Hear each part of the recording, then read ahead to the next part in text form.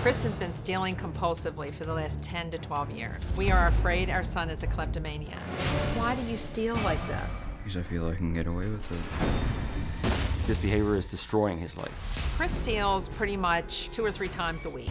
The stealing began when Chris was about eight years old. We went into a retail store and he stole a small back scratcher.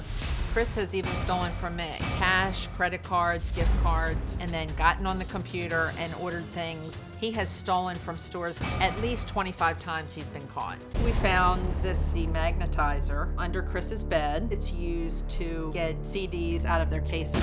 Chris has never been formally arrested for stealing, but he's been taken into custody numerous times. Chris never admits that he has stolen anything unless he is caught red-handed. We've been told by many stores that they do not prosecute anyone under the age of 18. The problem is they tell us this right in front of Chris. That gives Chris the message that he can continue this behavior and there's no repercussions. He has stolen video games, DVDs, Blu-ray discs. Pocket watches, sunglasses, wallets, cell phones.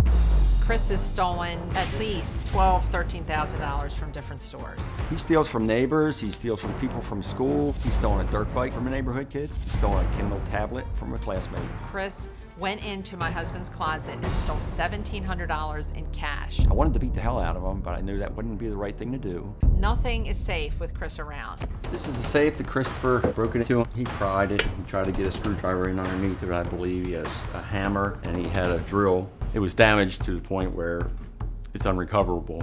We are desperate for help for our son. My biggest fear is that he'll end up in prison. Chris needs a huge wake-up call. Okay, this kid shoplifts three, four times a week. Yeah. Yeah, he takes things from people and he just thinks that he's entitled to it. He thinks that, oh, what, what did I do wrong? And, and Yeah, I just, he doesn't get it. just Okay, but do you actually believe that he doesn't make the connection when he says, What did I do wrong? Do you think we're dealing here with somebody that doesn't connect? What's wrong is, I don't own this, someone else does, I took it, that's not right. yes, we, we do you think he really doesn't connect that up? we don't know. I mean, we turn, try to turn things around. Like if he has a, a cell phone or if he has a plate, a game, a handheld game, how would you like it if you set that down and when you came back to pick it up, it wasn't there and somebody took it? How would you feel about that? I don't know. But you've taken him by the ear back to the store. Oh, yeah. Yeah, we do. We always hold him accountable for what You've he's taken done. him back and made him confess. Right, And they've chewed him out, right. scared the then- bejeebers out of him. Right. And then they back that up with, but we can't prosecute because you're under 18. Uh -huh. So then we bring him home and we say, okay, you know, you've lost privileges for this, this, or this, you know, because of what you did. And we just impose our, our own consequences at home and we hope that he's going to get it. But Every kid at some doesn't. point takes something that isn't theirs. Right, Right? right. I mean, every kid. If when you were a child, if you if you took something that wasn't yours, either from another kid or at school or somewhere, raise your hand. Four, five, six. You are such a liar. You raise your hand. Okay, all right. Now everybody. Some most people at some point they'll pick up something that wasn't theirs, but we're talking about a lot here. Right. Uh, he has stolen, according to you guys, numerous CDs from department stores, movies, DVDs. He's used your credit card to make purchases Yes.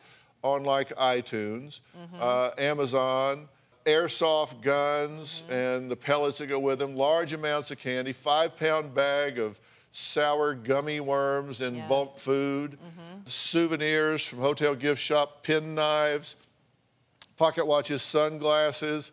I mean, it just goes on and Right, on right. and on. You've taken him to 40 or 50 psychologists, psychiatrists, physicians.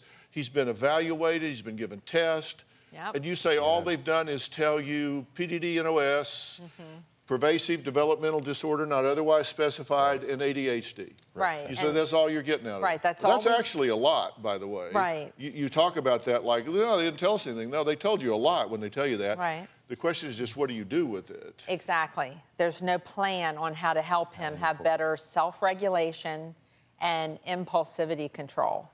He has no guilt when he steals. Not in the moment, no.